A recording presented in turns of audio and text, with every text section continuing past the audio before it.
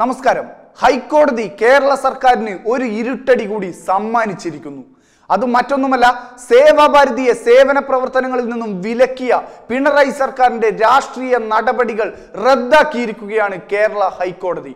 മാത്രമല്ല സേവാഭാരതിയെ ഒരിക്കലും മാറ്റി നിർത്താനാവുന്നതല്ല തുടങ്ങിയ പിണറായി വിജയന്റെ നെഞ്ചിൽ ഇടുത്തി വീഴ്ത്തുന്ന പോലെ സേവാഭാരതിയെ പുകഴ്ത്തിയുള്ള പരാമർശങ്ങളും ഹൈക്കോടതിയുടെ ഭാഗത്തു നിന്നും ഉണ്ടായി.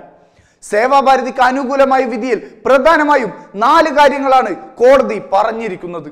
ഒന്നാമതായി സേവാഭാരതി രാഷ്ട്രീയ ബന്ധമുള്ള സംഘടനയല്ല മറിച്ച് മാനുഷിക സേവന പ്രവർത്തനങ്ങളിൽ വർഷങ്ങളായി മുഴുകിയിരിക്കുന്ന ഒരു സംഘടനയാണ് എന്നായിരുന്നു കോടതിയുടെ പരാമർശം.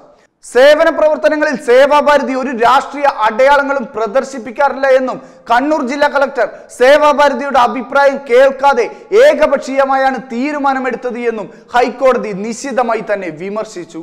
ചില പരാതികൾ കിട്ടിയപ്പോൾ നടപടിയെടുത്തു. അതേക്കുറിച്ച് അന്വേഷണം പോലും നടത്തിയില്ല. മാത്രമല്ല സേവാഭാരതിക്ക് നിഷേധിച്ച അവസരം രാഷ്ട്രീയ ബന്ധം സമ്മതിക്കുകയും തെളിയിക്കുകയും ചെയ്ത സംഘടനയ്ക്ക് അതായത് ഡിവൈഎഫ്ഐക്ക് നൽകുകയും ചെയ്തു. അത് തീർത്തും തെറ്റായ നടപടിയാണെന്നുമായിരുന്നു കേരള ഹൈക്കോടതി പറഞ്ഞത്. ഇതോടെ സേവാഭാരതിയുടെ മുന്നിൽ തോറ്റ് നാണം കെട്ട് നാറിയിരിക്കുകയാണ് പിണറായി സർക്കാർ. കോവിഡ് മഹാമാരിയിൽ പോലും രാഷ്ട്രീയ ലക്ഷ്യം വെച്ച് മാത്രം പ്രവർത്തിച്ചത് കൊണ്ടാണ് കേരളം ഇന്നും കോവിഡിന്റെ പിടിയിൽ നിന്നും രക്ഷ നേടാത്തത്.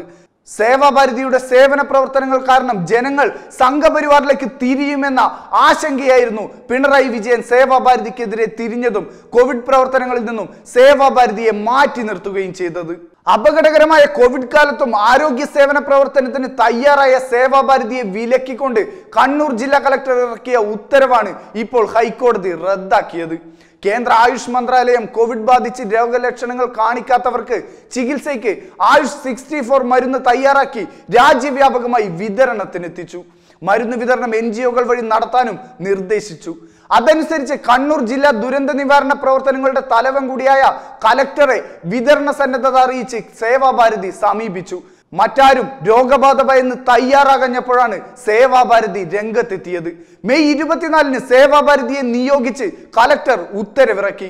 വാർത്ത വൻ പ്രചാരം നേടിയപ്പോൾ കമ്മ്യൂണിസ്റ്റ് പാർട്ടി നേതാക്കളുടെ സമ്മർദ്ദത്തിൽ പിണറായി സർക്കാർ ഇടപെട്ട് കലക്ടറുടെ ഉത്തരവ് റദ്ദ് ചെയ്യിക്കുകയായിരുന്നു.